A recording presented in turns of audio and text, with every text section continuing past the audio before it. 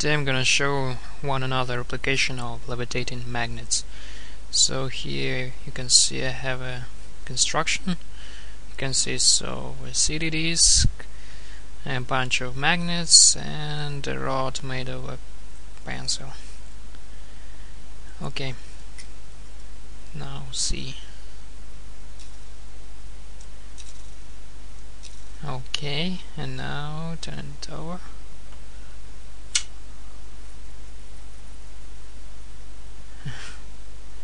See, it's not falling.